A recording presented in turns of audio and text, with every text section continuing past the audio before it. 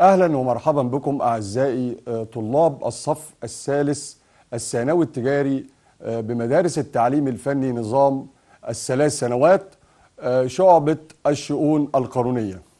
وطلاب الصف الخامس الثانوي التجاري بالمدارس المتقدمة نظام الخمس سنوات شعبة الإدارة والتسويق وسوق المال في حلقة جديدة من حلقات المراجعة على منهج المحاسبة الحكومية. اليوم إن شاء الله أولى حلقاتنا على آه، المراجعة آه، على منهج المحاسبة الحكومية. وطبعا درسنا خلال العام الدراسي آه، أربع أبواب. الباب الأول بيتكلم عن الإطار العام للمحاسبة الحكومية. الباب الثاني بيتكلم عن النظام المحاسبي الحكومي. الباب الثالث بيتكلم عن الموازنة العامة للدولة. الباب الرابع بيتكلم عن التوجيه المحاسبي للعمليات الحكومية. اليوم إن شاء الله هنحاول آه، بشكل موجز إن إحنا آه، نتناول آه، مراجعتنا أو نخصص الحلقة بتاعتنا للمراجعة على الباب الأول والباب الثاني والباب الثالث. زي ما إحنا عارفين الباب الأول والباب الثاني والباب الثالث بيغلب عليهم الطابع النظري وبيكون أغلبية الأسئلة النظرية اللي بتيجي في الامتحان بتكون من آه، الباب الأول والثاني والثالث بالإضافة آه، أن هناك بعض الجوانب العملية في الباب الثاني والباب الثالث طبعا درسنا آه، في الباب التالي آه، النظام المحاسبي آه، الحكومي وعرفنا أن النظام المحاسبي الحكومي بيتكون من آه، مجموعة مستندية ومجموعة دفترية. واتكلمنا طبعا على آه، سجل حصر طلبات الصرف 55 عين ح وميزان المراجعة اليومي أو دفتر الحسبة اليومية 69 عين ح وسجل الارتباطات 291 و 292 دول طبعا أهم آه، الدفاتر اللي موجودة في الباب آه، الثاني الخاص بالنظام المحاسبي الحكومي. هناك دفتر أيضا آه، دفتر حساب الشيكات 56 عين ح طبعا لا يخلو امتحان من امتحانات المحاسبة الحكومية من هذه الدفاتر. يعني لازم يجي لي في الاختبار يا إما آه، سجل آه، آه، سجل حصر طلبات الصرف آه، 55 عين ح أو الاستمارة 55 عين ح أو يجي لي في الاختبار دفتر حساب الشيكات 56 عين ح أو يجي لي في الاختبار سجل الارتباطات 291 و 292 آه، كذلك من الدفاتر اللي برضو بتظهر دايما أو بتتكرر دايما في الامتحان وهو ميزان المراجعة اليومي أو دفتر الحسبة اليومية 69 عين ح إحنا خلال حلقتنا اليوم إن شاء الله هنحاول إن إحنا آه، نوضح آه، شكل الاختبار وايه الأجزاء اللي ممكن يجي عليها أسئلة في اختبار آه، نهاية العام اللي بتمنى من الله سبحانه وتعالى إنه يوفقكم ويكلل مجهودكم وتعبكم بالنجاح إن شاء الله. الباب الأول طبعا اتكلمنا فيه عن آه، في ال- الإطار العام للمحاسبة الحكومية تعرفنا على المحاسبة آه، آه، تعريف المحاسبة الحكومية وخصائصها أو سماتها. تعرفنا أيضا في آه، الباب الأول على آه، آه، آه، آه، السمات الخاصة بالمحاسبة الحكومية كذلك آه، أوجه الشبه والاختلاف بين المحاسبة المالية والمحاسبة الحكومية. آه، هنحاول آه، نشوف آه، الأسئلة إزاي هيجي لها أسئلة على الباب ال- ال- الأول والباب الثاني والباب التالي بشكل نظري. وكذلك الجوانب العملية اللي أوضحناها في الباب الثاني والباب الثالث طبعا اللي بيتكلم عن الموازنة العامة للدولة. هنتعرف إزاي بيجي لي سؤال على الموازنة العامة في الدولة في الامتحان. لكن آه، قبل ما نروح للمراجعة تعالوا الأول نشوف الامتحان بيجي إزاي شكل الاختبار بتاعي. الاختبار بيجي في مجموعة من الأسئلة طبعا بيتكون من أربع أسئلة.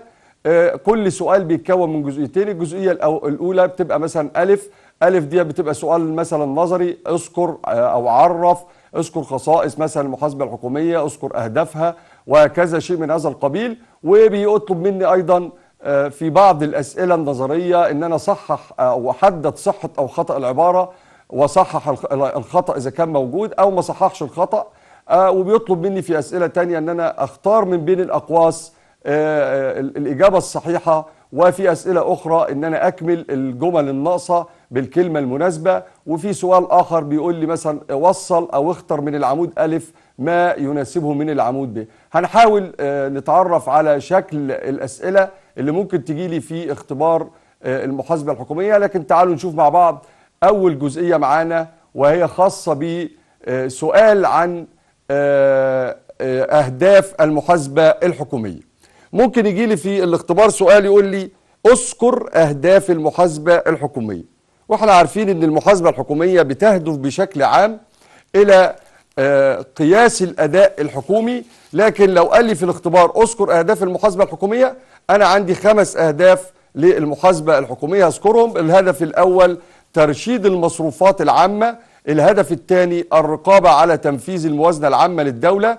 الهدف الثالث الرقابة على التزامات الجهات الإدارية ومتابعة الوفاء بها الهدف الرابع الرقابة المالية قبل الصرف ونظم الضبط الداخلي لأموال الجهات الإدارية أو الأموال التي تديرها آه، تلك الجهات سواء كانت إيرادا أو أصولا أو حقوقا. الهدف الخامس توفير البيانات والمعلومات اللازمة لتحديد المراكز المالية ورسم السياسات المالية واتخاذ القرارات. يبقى أنا عندي خمس أهداف للمحاسبة الحكومية. لو قال لي في الاختبار أذكر أهداف المحاسبة الحكومية هذكر له الخمس أهداف دول لكن ما انساش بشكل عام أن الهدف العام للمحاسبة الحكومية هو قياس الأداء الحكومي ومراقبته. عندنا سؤال آخر ممكن يجي لي في الاختبار يقول لي أذكر نطاق سريان المحاسبة الحكومية.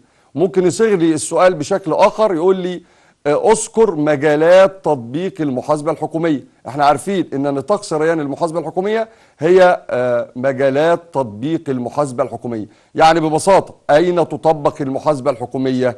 أعزائي الطلاب إحنا عارفين إن المحاسبة الحكومية بتطبق في الوحدات آه، أو المؤسسات الحكومية. طب أي مؤسسات حكومية؟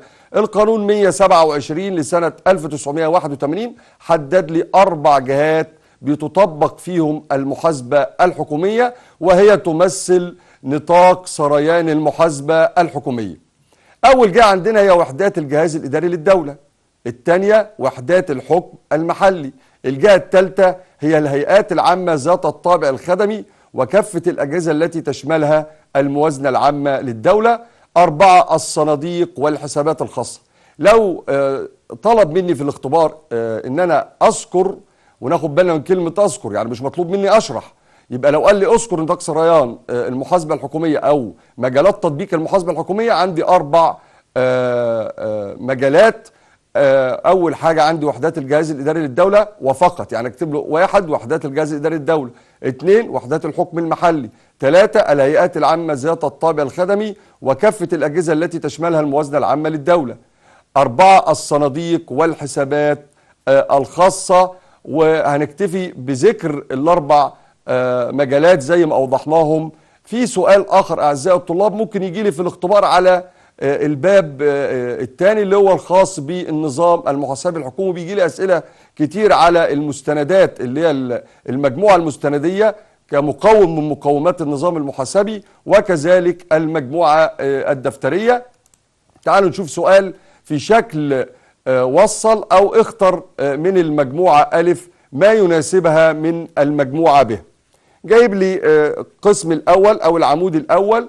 المجموعة ألف جايب لي واحد قصائم التحصيل النقدي 33 عين ح اثنين دفتر يومية الشطب 115 عين ح ثلاثة دفتر العهدة 118 عين ح أربعة دفتر يومية المخزن 114 عين ح خمسة دفتر حساب الحوالات 54 عين ح وجايب لي في العمود ب تعريفات لكل دفتر من هذه الدفاتر والمطلوب مني إن أنا أختار من العمود ألف ما يناسبه من تعريفات في العمود ب. يبقى آه، آخد بالي أعزائي الطلاب إن أنا لازم أكون آه، عارف المستندات اللي بتستخدم في آه، الوحدات الحكومية. وعندنا مجموعة من المستندات طبعا إحنا مجموعة المستندات بتقسم عندنا أو المجموعة المستندية مستندات تحصيل ومستندات صرف ومستندات الشراء والتخزين. تعالوا نشوف أول مستند عندنا اللي هو قصائم التحصيل النقدي 33 عين ح طبعا هي عبارة عن إيه؟ عبارة عن آه، آه، آه، الأدوات أو ال- المستندات اللي بيتم من خلالها تحصيل المبالغ للحساب أو لحساب الحكومة. يبقى على طول واحد اللي هي قصائم التحصيل النقدي 33 عين ح هي هتبقى عبارة عن إيه؟ قصائم آه، بيحصل بمقتضاها أي مبالغ لحساب الحكومة يبقى ألف أو واحد هتاخد إيه؟ هتاخد الإجابة رقم د يبقى لما أجي أحل في الامتح... في الاختبار أو الامتحان هكتب واحد وأشد خط وأكتب قصادها الإجابة بتاعتها د أو أكتب قصائم التحصيل النقدي 33 عين ح وبعدين جنبها أكتب يحصل بمقتضاها أي مبالغ لحساب الحكومة. اتنين دفتر يومية الشطب 115 عين ح ودي طبعا آه، دفتر آه، من الدفاتر المهمة اللي بيستعمل في المخازن الرئيسية لإثبات الأصناف الواردة والمنصرفة. يبقى الإجابة على طول رقم اتنين هتكون إجابتها اهي وده طبعا دفتر يومية الشطب 115 عين ح ده بيستعمل في المخازن الرئيسية لإثبات الأصناف الواردة والمنصرفة. هكتب على طول اتنين وأشد خط وأكتب قصادها في كراسة الإجابة ه النقطة رقم ثلاثة بيقول لي دفتر العهدة 118 عين ح طيب دفتر العهدة 118 عين ح ده بيمسك بواسطة أمناء المخازن الرئيسية والإقليمية والفرعية. يبقى خد بالي دفتر العهدة ده بيمسك بواسطة أمناء المخازن الرئيسية والإقليمية والفرعية وبياخد 118 عين ح يبقى لو قال لي دفتر عهدة 118 عين ح أقول له يمسك بواسطة أمناء المخازن الرئيسية والإقليمية والفرعية. دفتر يومية المخزن 114 عين ح ده بيثبت بيه طبعا حركة المخزون من مستندات آه، آه، التسليم والصرف أو التسلم والصرف. عندنا أيضا آه، دفتر حوالات أو دفتر حساب الحوالات 54 عين ح وده بيقيد به أذون الصرف 9 عين ح وقت إصدارها. يبقى إجابة ده الإجابة رقم خمسة هتكون إجابتها ب وبالتالي أنا هكتب بقى لما أجي أحل في الاختبار أكتب واحد وقصادها على طول أشد خط وأكتب دال أكتب اتنين وأشد آه، شرطة كده أو خط بسيط وأكتب قصاده اهي تلاتة أكتب آه، آه، دفتر العقده 118 عين ح طبعا هكتب تلاتة وأشد قصادها خط وأكتب جيم وكذلك بالنسبة للنقطة رقم أربعة والنقطة رقم خمسة. الباب الثالث أعزائي الطلاب بيتكلم عن الموازنة العامة للدولة. طيب إيه هي الموازنة العامة للدولة؟ تعرفنا على آه، تعريف الموازنة العامة للدوله وقلنا إن الموازنة العامة للدولة هي بيان تقديري مفصل بيان تقديري مفصل بمصروفات وإيرادات الدولة عن سنة مالية مقبلة. يبقى ممكن يجي لي في الاختبار يقول لي عرف الموازنة العامة للدولة. أقول له إن الموازنة العامة للدولة هي عبارة عن بيان تقديري مفصل بإيرادات الدولة ومصروفاتها عن سنة مالية مقبلة وبيعتمد من مجلس الشعب أو السلطة التشريعية. يبقى آخد بالي من تعريف الموازنة العامة للدولة لأن ممكن يجي لي عليها سؤال بكذا شكل. ممكن يقول لي عرف الموازنة العامة للدولة وممكن آه، بدل ما يقول لي عرف الموازنة العامة للدولة يجيب لي تعريف الموازنة العام- العامة للدولة ويجيب لي فيه نقاط. على سبيل المثال يقول لي مثلا هي بيان نقط آه، مفصل بإيرادات ومصروفات الدولة عن سنة مالية نقط. يبقى أنا كده على طول أبقى فاهم إن هي بيان تقديري وليس بيان فعلي لأن الموازنة العامة للدولة بتعد عن سنة مالية تالية وليست سنة مالية منتهية. تعالوا نشوف مع بعض سؤال آه، أو تعريف الموازنة العامة للدولة.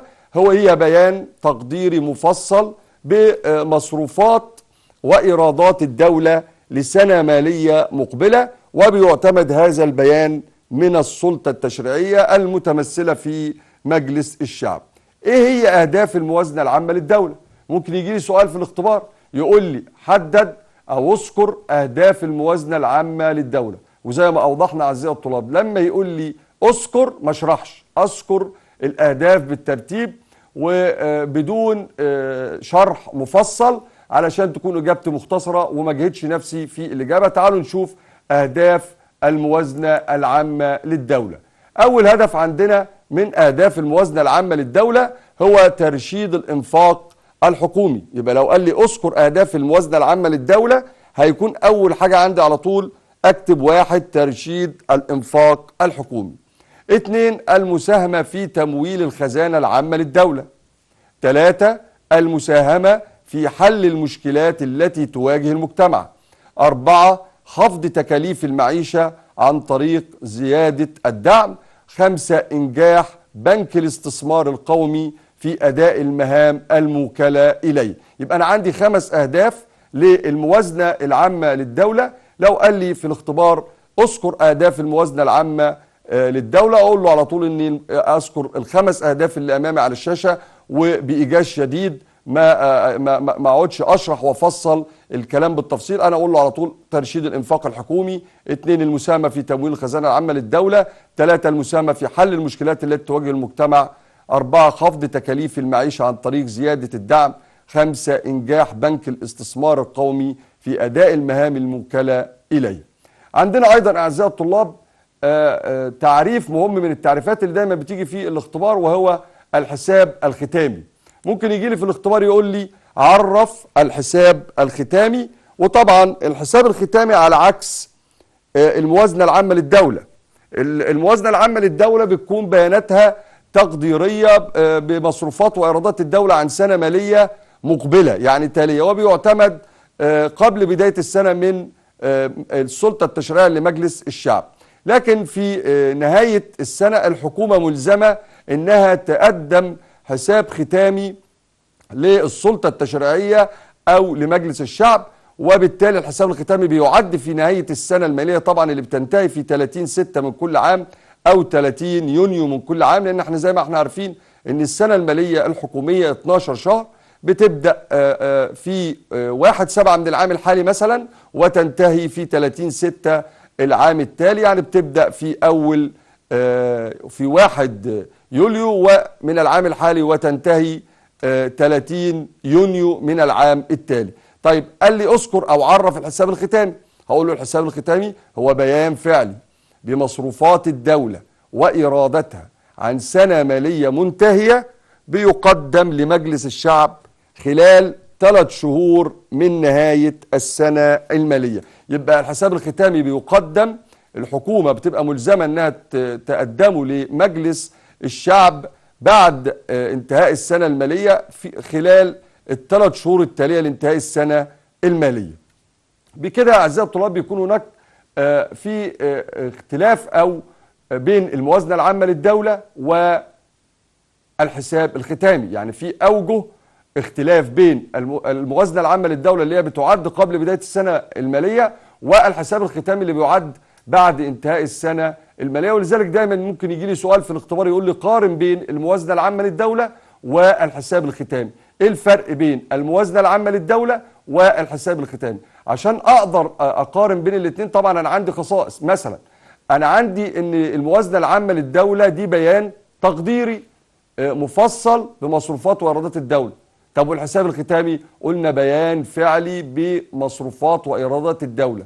طيب ال- الموازنة العامة للدولة بتعد قبل بداية السنة المالية. طب والحساب الختامي؟ الحساب الختامي بيعد بعد انتهاء السنة المالية زي ما أوضحنا في التعريف. فلو جالي في الاختبار سؤال مثلا قال لي قارن بين الموازنة العامة للدولة والحساب الختامي. هعد له المقارنة في شكل جدول زي ما هنشوف دلوقتي معانا على الشاشة. آه، ال- الفرق بين ال- الحساب الختامي والموازنة العامة للدولة. هروح عامل جدول على طول طالما قال لي قارن.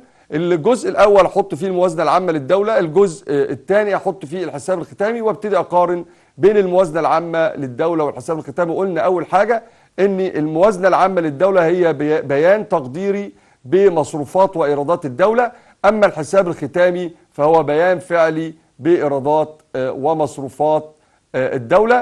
ال- الموازنة العامة للدولة بتعد عن سنة مالية مقبلة أما الحساب الختامي بيعد عن سنة مالية منتهية. تعالوا نبص مع بعض. بيقول لي آه، في الج- الجزء الأول من الجدول الجدول هقول الموازنة العامة للدولة هي بيان تقديري بالمصروفات والإيرادات. آه، الحساب الختامي هو بيان فعلي بالمصروفات والإيرادات. يبقى الاختلاف هنا إن ده تقديري ده فعلي. طيب الموازنة العامة للدولة بتعد عن سنة مالية مقبلة أو تالية. يعني بنعده عن سنة مالية قادمة أو مقبلة أو تالية ايا كانت الجملة أو الكلمة اللي أنت هتعبر بيها عن إن إن إن الموازنة العامة للدولة هتكون لسنة تالية يعني لو كتبت مقبلة صح كتبت سنة تالية صح آه، مفيش أي مشكلة بس أهم حاجة تكون الكلمة دقيقة وبتعبر عن المقصود آه، بإن الس- إن الموازنة العامة للدولة بتعد عن سنة تالية أو مقبلة أو قادمة. الحساب الختامي بيعد عن سنة مالية منتهية. طيب ال- الموازنة العامة للدولة بتعد قبل بداية السنة المالية أما الحساب الختامي فبيعد بعد انتهاء السنة المالية وزي ما أوضحنا أعزائي الطلاب أن الحساب الختامي الحكومة بتلتزم بتقديم الحساب الختامي خلال الثلاث شهور آه، التالية لنهاية السنة المالية أيضا هناك آه، سؤال ممكن يجي لي في الاختبار. أذكر بإيجاز أجهزة الرقابة على الموازنة العامة للدولة.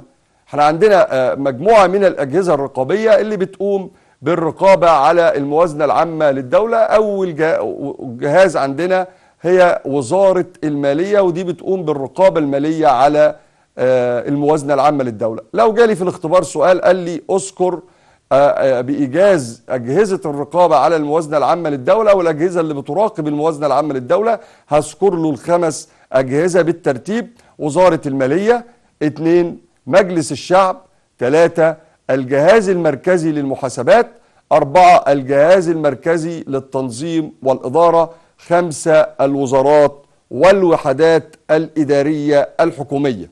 يبقى أنا عندي خمس أجهزة رقابية بتقوم بالرقابة على الموازنة العامة للدولة نقولهم تاني مع بعض. وزارة المالية مجلس الشعب اللي هو طبعا السلطة التشريعية ثلاثة الجهاز المركزي للمحاسبات أربعة الجهاز المركزي للتنظيم والإدارة آه، خمسة ألو... الوزارات والوحدات الإدارية الحكومية. دي بتكون رقابة داخلية لأن كل آه، وزارة من الوزارات بتقوم بيبقى في جهة آه، داخل الوزارة بتراقب وبتتابع تنفيذ الموازنة العامة للدولة. من الأسئلة المهمة طبعا اللي بتجيلي في الاختبار أيضا اللي هي قواعد إعداد الموازنة العامة للدولة. دايما سؤال بيتكرر في الاختبار يقول لي أذكر قواعد إعداد الموازنة العامة للدولة. وده سؤال طبعا اتكرر في اختبارات كتير. طيب لو هو قال لي أذكر إعداد آه، أو قواعد إعداد الموازنة العامة للدولة أقعد بقى أشرح كل قاعدة كده وأكتب قاعدة سنوية الموازنة يعني كذا و... لا هو قال لي أذكر القواعد. يبقى ما تطرقش للشرح. أذكر يبقى عدد القواعد أو أقولهم بالترتيب عناوين فقط بدون شرح طيب لكن أنا هبقى فاهم لأن ممكن آه، أبقى فاهم يعني إيه قاعدة سنويه الموازنة يعني إيه قاعدة وحدة الموازنة يعني إيه قاعدة عدم. عدم التخصيص لأن طبعا آه، آه، بيجي لي في بعض الأسئلة الصح والخطأ يقول لي قاعدة سنويه الموازنة مثلا آه، المقصود بها إيه مثلا؟ يجيب لي نقطة في صح وغلط نقطة في أكمل نق- نقطة في في اختيار متعدد. يبقى أنا عارف المقصود بكل قاعدة من هذه القواعد. تعالوا بقى نذكر آه، قواعد إعداد الموازنة. لو جالي سؤال في الاختبار أقول له على طول واحد قاعدة سنوية الموازنة. مش هشرح حاجة. مش هتكلم بقى عن الشرح آه، التفصيلي لقاعدة سنوية الموازنة. لأنه هو قال لي أذكر قواعد إعداد الموازنة العامة للدولة. يبقى أنت في الاختبار هتقول إيه؟ اذكر قواعد اعداد الموازنة العامة للدولة هتذكر على طول آه، واحد قاعدة سنوية الموازنة اثنين قاعدة وحدة الموازنة ثلاثة قاعدة عدم التخصيص أربعة قاعدة عمومية أو قاعدة شمول الموازنة خمسة قاعدة آه، توازن الموازنة. يبقى أنا عندي خمس قواعد لإعداد الموازنة العامة للدولة قاعدة سنوية الموازنة قاعدة وحدة الموازنة قاعدة عدم آه، آه، التخصيص وعندنا قاعدة عمومية أو شمول الموازنة وقاعدة آه، توازن الموازنة لأن إحنا زي ما إحنا عارفين أعزائي الطلاب إن الموازنة لها جانب استخدامات وجانب موارد ولازم جانب الاستخدامات تتساوى مع جانب الموارد. عندنا أيضا آه، سؤال من الأسئلة طبعا اللي بتيجي في الاختبار يقول لي أذكر مراحل إعداد الموازنة العامة للدولة. طبعا بعملية إعداد الموازنة العامة للدولة بتمر باربع بأربع مراحل متتالية ومتتابعة وهي أول مرحلة عندنا مرحلة إعداد وتحضير مشروع آه، الموازنة. المرحلة الثانية طبعا مرحلة الاعتماد. المرحلة الثالثه مرحلة التنفيذ. المرحلة الرابعة مرحلة الرقابة. يبقى أنا عندي أربع مراحل لإعداد الموازن إعداد الموازنة العامة للدولة أو إعداد الموازنة العامة للدولة أعزائي الطلاب بيتم بي بي بيمر بأربع مراحل. المرحلة الأولى إعداد وتحضير مشروع الموازنة. المرحلة الثانية آه، مرحلة آه، اعتماد أو الاعتماد أو اعتماد الموازنة. المرحلة الثانية هي مرحلة آه، التنفيذ. المرحلة الرابعة مرحلة الرقابة. وناخد بالنا إن مرحلة الرقابة دي بتكون بت- يعني بتتم أثناء التنفيذ وبعد تنفيذ الموازنة. تعالوا لو جالي سؤال في الاختبار وقال لي أذكر أذكر آه، مراحل إعداد الموازنة العامة للدولة يبقى أنا مش مطلوب مني إن أنا أشرح كل مرحلة من هذه المراحل. هذكر له المراحل زي ما أوضحنا. واحد مرحلة إعداد وتحضير مشروع الموازنة. اثنين مرحلة الاعتماد. ثلاثة مرحلة التنفيذ. أربعة مرحلة الرقابة. لو أنا عايز بقى أكون فاهم لنفسي طبعا مرحلة الاعتماد دي بتنتهي بعرض مشروع الموازنة على آه، السلطة التشريعية وهي آه، مجلس الشعب. وبعد ما بيتم آه، عرض يعني مرحلة الإعداد والتحضير بتنتهي بعرض مشروع الموازنة على السلطة التشريعية. وبعدين السلطة التشريعية في نهاية مرحلة الاعتماد بتقوم باعتماد الموازنة العامة للدولة. وبعد كده بتقوم كل جهة من الجهات في مرحلة التنفيذ طبعا الجهات ال- ال- المدرجة في الموازنة زي الوزارات والوحدات الحكومية ال- ال- الإدارية بتنفيذ الموازنة العامة للدولة وبعدين بتقوم الأجهزة الرقابية خلال تنفيذ الموازنة وبعد التنفيذ الخمس أجهزة اللي قلنا عليهم اللي من ضمنهم وزارة المالية والجهاز المركزي للمحاسبات والجهاز المركزي للتنظيم والإدارة بيقوموا بالرقابة على آه، إعداد الموازنة خلال مرحلة التنفيذ وبعد الانتهاء من التنفيذ. ده شكل من أشكال الأسئلة اللي ممكن تجي لي في آه، اختبار المحاسبة الحكومية. في شكل مقالي يقول لي أذكر أو عرف وأسئلة زي ما إحنا شايفينها بسيطة وسهلة. آه، أهم حاجة ما تكونش قلقان تكون هادي وانت بتحل. آه، ما تخافش. اقرأ السؤال بتركيز وحاول تجاوب بهدوء وإن شاء الله ربنا سبحانه وتعالى مش هيضيع تعبك لأن ربنا ما بيضيعش تعب كل مجتهد. عندنا شكل آخر من الأسئلة اللي ممكن تجي لي على الباب الأول والباب الثاني والباب الثالث اللي إحنا مخصصين لهم آه، الحلقة النهارده للمراجعة. آه، أسئلة بتيجي في شكل اختيار من متعدد وشكل صح وخطأ وكذلك في شكل اخت... آه، صح إحنا قلنا أسئلة بتيجي في شكل اختيار متعدد صح وخطأ أكمل وطبعا خدنا سؤال على اختر من الإيه؟ من المجموعة. ألف ما يناسبها من المجموعة ب اللي هو السؤال وصل. تعالوا بقى نتدرب على الأسئلة اللي ممكن تجي لي في الاختبار في شكل اختيار متعدد أو آه، صح وخطأ أو أكمل. وتعالوا نشوف السؤال اللي معانا. بيقول لي اختر من آه، الإجابة المناسبة مما بين الأقواس. أقرأ كل سؤال بتركيز وما تلخبطش طبعا. آه، يعني أحاول إن أنا أختار الإجابة الدقيقة والصحيحة والقريبة من الإيه؟ من آه، رأس السؤال. يعني مثلا واحد بيقول لي آه، آه، تستخدم المحاسبة الحكومية في إثبات عملياتها الأساس النقدي ولا الأساس الاستحقاق ولا الأساس المشترك؟ طبعا إحنا عندنا ثلاث أسس اللي هم طبعا ذاكرهم في الاختيارات. عندنا الأساس النادي وأساس الاستحقاق وأساس المشترك. دول آه، بيستخدموا آه، في آه، المحاسبة بشكل عام وفي يعني في جميع فروع المحاسبة وكذلك في المحاسبة الحكومية. لكن المادة الخامسة من القانون 127 سنة 1981 في جمهورية مصر العربية آه، أقرت الأساس النقدي كأساس لإثبات العمليات المالية في آه، آه، الدفاتر المحاسبية الحكومية. يبقى اذا الأساس المطبق في الحكومة هو أساس الأساس النقدي. وطبعا ده على عكس المحاسبة المالية لأن في المحاسبة المالية بيطبق أساس الاستحقاق هتكون الإجابة على طول الأساس النقدي. اتنين بيقول لي من سمات المحاسبة الحكومية احتساب أو عدم احتساب أو خصم إهلاك للأصول الثابتة. طبعا أوضحنا في سمات المحاسبة الحكومية إن طبعا في المحاسبة الحكومية ما بيتمش احتساب إهلاك الاصول الثابتة ولا آه، تكوين آه، مخصصات لمقابلة الخسائر المحتملة وكذلك لا يتم تكوين احتياطات وبالتالي في من سمات المحاسبة الحكومية واللي بيميزها عن المحاسبة المالية إن ما بيتمش احتساب إهلاك للأصول الثابتة يبقى الإجابة هنا هتكون عدم احتساب. النقطة الثالثة بيقول لي تطبق المحاسبة الحكومية في وجايب لي الهيئات العامة المنشآت والشرك والشركات الوحدات الاقتصادية. طبعا إحنا اتكلمنا عن نطاق تطبيق المحاسبة الحكومية وأوضحنا إن المحاسبة الحكومية من ضمن مجالات تطبيقها اللي هي الهيئات العامة. لكن المحاسبة الحكومية لا تطبق في المنشآت والشركات الهادفة للربح ولا الوحدات آه، الاقتصادية. طبعا لأن الوحدات الاقتصادية هي أيضا هادفة للربح. أربعة بيقول لي لا تهدف الوحدات الإدارية الحكومية إلى تحقيق الوحدات الحكومية الإدارية أو الوحدات الإدارية الحكومية لا تهدف إلى تحقيق التنمية ولا الربح ولا الخدمة. طبعا لا تهدف إلى تحقيق الربح لأن المحاسبة الحكومية بتطبق في الوحدات الحكومية الإدارية غير الهادفة أو آه، للربح غير الهادفة للربح. النقطة رقم خمسة بيقول لي يتم إثبات الشيكات الواردة للوحدة في دفتر. طبعا خلي بالك أنا عندي شيكات واردة وشيكات صادرة. الشيكات الواردة بت- بتسجل فين؟ في حساب أو بيطلق عليها حساب الشيكات تحت التحصيل يبقى بالتالي هتسجل في آه، أو هيفتح أو هيفتح لها حساب حساب شيكات تحت التحصيل وهتسجل في دفتر شيكات تحت التحصيل. يبقى يتم إثبات الشيكات الواردة للوحدة في دفتر الشيكات تحت التحصيل.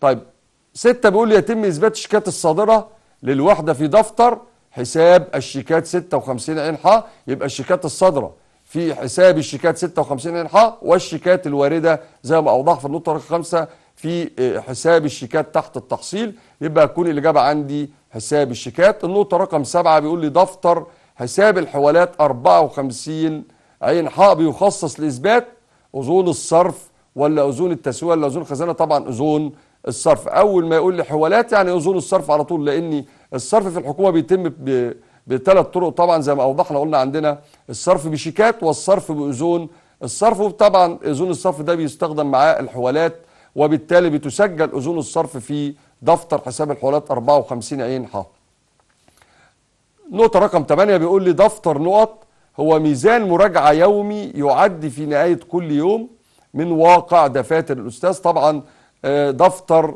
الحسبة اليومية 69 عين ح هو ميزان مراجعة يومي بيعد في نهاية كل يوم من واقع دفاتر الأستاذ. يبقى الإجابة عندي على طول ما هوش الأدابير ما هوش الارتباطات هيكون طبعا دفتر الحسبة اليومية. عندنا نقطة تانية بيقول لي آه، في النقطة رقم تسعة بيقول لي من قواعد إعداد الموازنة العامة للدولة نقط إيرادات معينة لمقابلة مصروف معين. يبقى من قواعد إعداد الموازنة العامة عدم تخصيص إيراد معين لمقابلة مصروف معين. نقرأ القواعد لسه آه، لو تتذكروا اتكلمنا عن القواعد. قال لي ممكن آه، ممكن يجي لي سؤال في الاختبار يقول لي أذكر قواعد إعداد الموازنة العامة للدولة. وممكن يجيب لي نقطة زي دي كده يقول لي من قواعد إعداد الموازنة العامة للدولة نقط إيراد معين لمقابلة مصروف معين طبعا عدم تخصيصه دي قاعدة عدم التخصيص النقطة رقم 10 بيقول لي من القواعد الأساسية لإعداد الموازنة العامة قاعدة تكامل الموازنة تخصيص الموازنة وحدة الموازنة. طبعا من القواعد الأساسية لإعداد الموازنة العامة للدولة هي قاعدة وحدة الموازنة لأن أنا ما عنديش قاعدة اسمها تكامل الموازنة ولا قاعدة اسمها تسمى تخصيص الموازنة هي قاعدة عدم التخصيص. النقطة رقم 11 بيقول لي تعد الموازنة العامة للدولة عن سنة مالية. طبعا دي من التعريف في الموازنة العامة للدولة إنها بتعد عن سنة مالية تالية أو مقبلة زي ما أوضحنا. يبقى اختار على طول مقبلة. اتنين الحساب الختامي أرقامه طبعا فعلية لأن الحساب الختامي بيعد بعد آه، نهاية السنة المالية وتكون آه، الحكومة ملزمة بتقديمه لمجلس الشعب المتمثل في السلطة التشريعية. يبقى الحساب الختامي أرقامه طبعا فعلية طب لو قال لي الموازنة العامة للدولة هقول له أرقامها تقديرية لكن الحساب الختامي أرقامه فعلية تعالوا نشوف سؤال كمان بيقول لي الحساب الختامي للدولة هو بيان بمصروفات الدولة وإيراداتها عن سنة مالية مقبلة ولا منتهية ولا حالية؟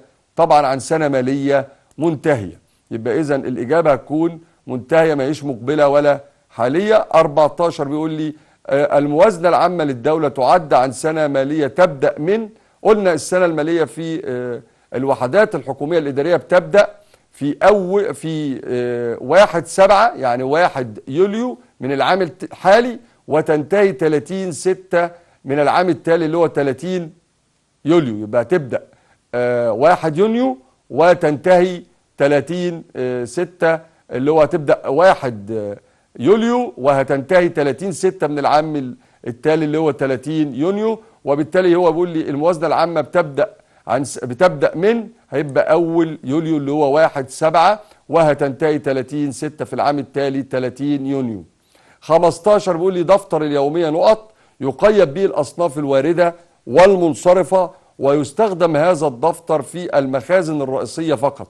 طبعا دي دفتر 115 عين ح ده بيستخدم أو بيقيد به الأصناف الواردة والمنصرفة وبيستخدم في آه، المخازن الرئيسية. فقط ده شكل أعزائي الطلاب من آه، أشكال الأسئلة اللي ممكن تجيلي في شكل اختيار آه، من متعدد عندنا شكل آخر من الأسئلة. ممكن يجيلي آه، سؤال يقول لي حدد صحة أو خطأ. كل عبارة من العبارات التالية يعني يقول صح أو خطأ. وممكن يضيف لي عليها جملة يقول لي مع تصحيح أو تصويب الخطأ. تعالوا نشوف شكل من الأسئلة اللي ممكن تجيلي في شكل آه، صح وخطأ وإزاي أقدر آه، أقرأ كل سؤال بتركيز وإزاي أقدر أجاوب على الأسئلة آه، المتعلقة بالصح والخطأ أو الصواب والخطأ. تعالوا نشوف أول نقطة معايا بتقول لي بيقول لي طبعا السؤال رأس السؤال بيقول لي ضع علامة صح أو علامة خطأ أمام كل عبارة مما يلي. واحد بيقول لي من سمات الوحدات الحكومية أو الوحدات الحكومية أنها تهدف إلى تحقيق الربح. ده صح. هل الوحدات الحكومية الإدارية بتهدف لتحقيق الربح؟ طبعا الإجابة هتكون إيه؟ هتكون خطأ لأن الوحدات الحكومية آه، الإدارية لا تهدف إلى آه، تحقيق الربح. النقطة الثانية بتقول لي تطبق المحاسبة الحكومية في وحدات الجهاز الإداري للدولة. ال ال ال ال المحاسبة الحكومية بتطبق في آه، وحدات الجهاز الإداري للدولة. طبعا إحنا عندنا من مجالات تطبيق آه، المحاسبة الحكومية وحدات الجهاز الإداري للدولة وبالتالي لو جالي سؤال صح ولا خطأ الوحدات أو المحاسبة الحكومية بتطبق في آه، وحدات الجهاز الإداري للدولة طبعا الإجابة هتكون صح. النقطة رقم ثلاثة بيقول لي تس- تستخدم المحاسبة الحكومية أو تستخدم المحاسبة الحكومية في إثبات عملياتها أساس الاستحقاق. يبقى هل المحاسبة الحكومية آه، بتستخدم آه، في إثبات عمليات أساس الاستحقاق؟ طبعا الإجابة خطأ. هنرجع للنقطة رقم واحد تاني بيقول لي من سمات الوحدات الحكومية أنها تهدف إلى تحقيق الربح. طبعا قلنا خطأ. النقطة الثانية قلنا تطبق المحاسبة الحكومية في وحدات الجهاز الإداري للدولة. طبعا الإجابة صح. النقطة الثالثة بيقول له تستخدم آه، أو تستخدم المحاسبة الحكومية في إثبات عملياتها أساس الاستحقاق. طبعا خطأ لأن المادة الخامسة من القانون 127 لسنة 1981 في جمهورية مصر العربية زي ما أوضحنا حددت الأساس النقدي كأساس آه، ل- للتطبيق في الوحدات الحكومية. وطبعا يبقى عندي هنا النقطة دي هتكون خطأ لكن لو عايز أصحح العبارة هقول أساس أقول عم إيه هقول تستخدم تستخدم المحاسبة الحكومية في إثبات عملياتها آه، الأساس النقدي. طيب وممكن أصحح العبارة بطريقة تانية. هقول ت- تستخدم المحاسبة المالية في إثبات عملياتها أساس الاستحقاق. يبقى أنا لو قلت تستخدم المحاسبة المالية في إثبات عمليات أساس الاستحقاق صح. لو قلت تستخدم المحاسبة الحكومية في إثبات عملياتها الأساس النقدي طبعا هتكون الإجابة أيضا صح. النقطة رقم أربعة بيقول لي السنة المالية في كل من المحاسبة المالية والمحاسبة الحكومية 12 شهر. طبعا إجابة صحيحة دليل إن دي من أوجه التشابه بين المحاسبة المالية والمحاسبة الحكومية إن السنة المالية في كلا آه، فرعي المحاسبة آه، بتكون 12 شهر. النقطة رقم خمسة بيقول لي من أهداف المحاسبة الحكومية الرقابة على تنفيذ التزامات الجهات الإدارية. طبعا الإجابة إجابة صح لأن من أهداف المحاسبة الحكومية زي ما أوضحنا الرقابة على تنفيذ آه، التزامات الجهات الإدارية. النقطة رقم ستة بيقول لي يجوز تخصيص موارد معينة لمواجهة نفقات معينة بالموازنة العامة للدولة؟ طبعا ده خطأ لأنه عكس آه، قاعدة آه، عدم التخصيص. إن قاعدة عدم التخصيص بتقول لي اللي هي من قواعد إعداد الموازنة العامة الدولي لا يجوز تخصيص موارد معينة آه، للإنفاق منها على أوجه نفقات معينة وبالتالي الاجابه هتكون خطأ. لو أنا عايز أصحح العبارة أقول لا يجوز أنفي الجملة لا يجوز تخصيص موارد معينة لمواجهه نفقات معينة بالموازنة العامة للدولة. النقطة رقم سبعة ودي نقطة مهمة جدا أعزائي الطلاب ناخد بالنا منها. دايما بتتكرر في الاختبار وممكن تجي لي آه، نقطة لوحدها أو سؤال لوحده. بيقول لي إذا كان إجمالي الجانب المدين لدفتر الحسبة اليومية 69 إنحاء 340 ألف جنيه والحسابات النظامية بالجانب الدائن 140 ألف جنيه. فإن مبلغ الحسابات النظامية بالجانب المدين 200 ألف جنيه. طبعا إجابة خطأ. ليه بقى إجابة خطأ؟ لأن الحسابات النظامية المدينة لابد إنها تتساوى مع الحسابات النظامية الدائنة.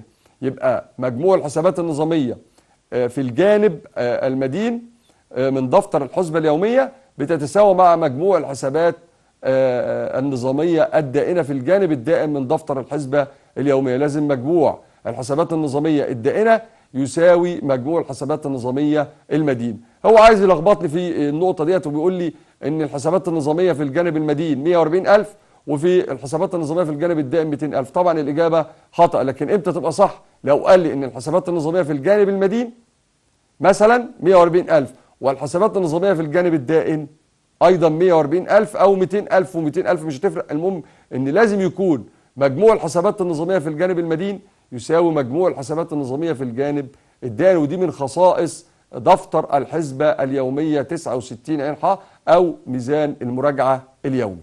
لكن ناخد بالنا برضو أعزائي الطلاب من جزئية مهمة وانه لازم مجموع الجانب المدين في دفتر الحسبة اليومية يساوي مجموع الجانب الدائن وهنتطرق لدفتر الحسبة اليومية إذا كان لدينا متسع من الوقت إن شاء الله في حلقتنا. لكن تعالوا نرجع للسؤال التالي اللي هي النقطة اللي معانا النقطة رقم 8 بيقول لي تلتزم الحكومة بتقديم الحساب الختامي لمجلس الشعب خلال أربع أشهر من انتهاء السنة المالية. طيب إحنا خدنا قبل كده في تعريف الحساب الختامي إن هو بيان فعلي آه، بمصروفات وإيرادات آه، آه، الدولة عن سنة مالية منتهية بتقوم الحكومة آه، بتقديمه لمجلس الشعب أو السلطة التشريعية بعد نهاية السنة المالية وخلال ثلاث إيه أشهر مش أربع أشهر. يبقى لما يقول لي أربع أشهر أقول له خطأ لأن لازم خلال ثلاث أشهر آه، الحكومة ملزمة بنص القانون إنها تقدم آه، الحساب الختامي للسلطة التشريعية المتمثلة في مجلس الشعب وبالتالي النقطة دي هتكون خطأ. آه، لو أنا عايز أصحح آه، العبارة هقول تلتزم الحكومة بتقديم الحساب الختامي لمجلس الشعب خلال ثلاث أشهر من انتهاء السنة المالية. ده شكل من أشكال الأسئلة اللي ممكن تجي لي في صح وخطأ وهنقيس على كده بقى الطلاب وأنت بتذاكر خد بالك إن أنت ممكن يجي لك نقطة آه نقطة على صح وخطأ أو نقطة في اختر من بين الاقواس زي ما شفنا مثلا تعريف الموازنة العامة للدولة وكذلك تعريف آه، الحساب الختامي ممكن يجي لي في شكل صح وخطأ ممكن يجي لي في شكل آه، اختر من بين الأقواس وممكن أيضا يجي لي في صورة أكمل. يعني يجيب لي آه، مجموعة من الأسئلة النقاط خمس نقاط مثلا أو أربع نقاط ويقول لي أكمل كل مكان النقاط بالكلمة أو بالجملة المناسبة. تعالوا نشوف شكل من أشكال أسئلة أكمل اللي ممكن تجي لي في الاختبار على الباب الأول أو الباب الثاني أو الباب الثالث أو أي جزئية نظرية في المنهج. تعالوا نشوف السؤال آه، الخاص بأكمل ما يلي بالكلمة أو الجملة المناسبة. ودي سؤال دايما بيتكرر في اختبارات لو رجعنا آه، اختبارات أو امتحانات الأعوام السابقة. تعالوا نشوف أول جزئية معايا بيقول لي آه، تستخدم نقط في إثبات عملياتها الأساس النقدي. تستخدم نقط في إثبات عملياتها الأساس النقدي. إحنا عندنا طبعا المحاسبة المالية بنستخدم فيها أساس الاستحقاق. طب والمحاسبة الحكومية بنستخدم آه، في إثبات عملياتها الأساس النقدي زي ما أوضحنا يبقى هتكون الجملة اللي هكملها مكان النقاط المحاسبة الحكومية تستخدم المحاسبة الحكومية في إثبات عملياتها الأساس النقدي طيب لو قال لي في إثبات عمليات الأساس أساس الاستحقاق يبقى كانت الإجابة هتكون المحاسبة المالية. برافو عليكم. يبقى أقول تستخدم المحاسبة الحكومية في إثبات عملياتها الأساس النقدي. النقطة الثانية بيقول لي إذن نقط هو كشف مكون من جانبين مدين ودائن وبينهما خانة لنوع التسوية. طبعا ده إذن التسوية 61 عين. هيبقى ممكن يجي لي في الاختبار. قيس على النقطة دي إن أنا ممكن يجي لي في الاختبار أي نقطة تخص آه، المجموعة المستندية أو المجموعة الدفترية. آه، طبعا في الباب الثاني اللي هو باب النظام المحاسبي الحكومي.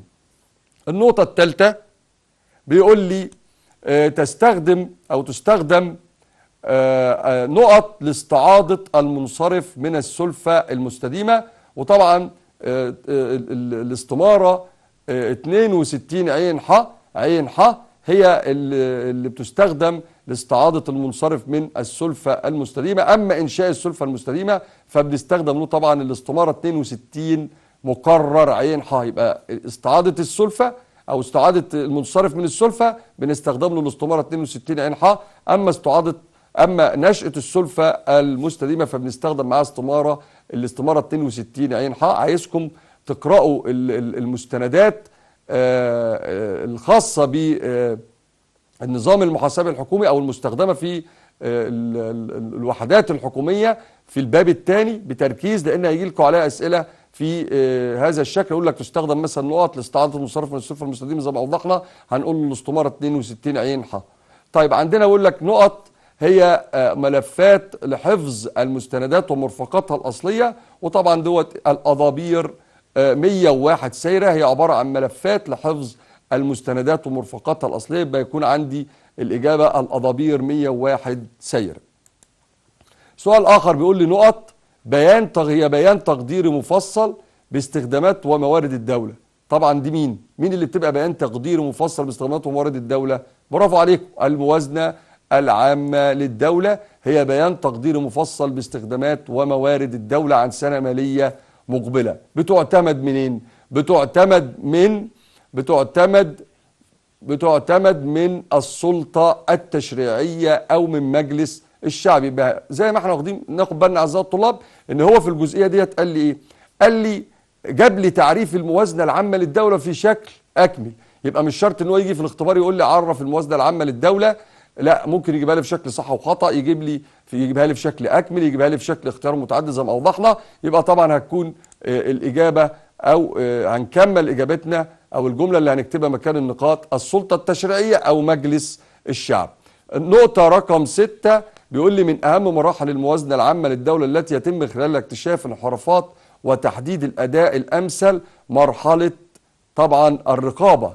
مرحلة الرقابة هي المرحلة اللي بيتم فيها اكتشاف الانحرافات. سبعة بيقول لي إذا كان العجز بموازنة الجهاز الإداري آه، آه، 340 مليار جنيه وإجمالي الاستخدامات 740 مليار جنيه. فإن جملة مصادر تمويل العجز بالموازنة عايزك تاخد بالك من الجزئية ديت. آه، عجز الموازنة بيساوي مصادر تمويل العجز. يبقى لازم مصادر تمويل العجز تساوي عجز أو العجز النقدي للموازنة. يبقى أنا على طول هنا على طول أعمل إيه؟ هيكون لازم يكون العجز اللي هو هيبقى قد إيه؟ العجز هنا 340 مليار. مديني جزئية عشان يلخبطني. بيقول لي واجمالي الاستخدامات 740 مليار جنيه. فإن جملة مصادر تمويل العجز بالموازنة ناس تتلخبط وتطرح الاثنين من بعض. لا خد بالك. إذا كان العجز بالموازنه 340 مليار يبقى على طول هيكون جملة مصادر تمويل العجز بالموازنة 340 مليار جنيه.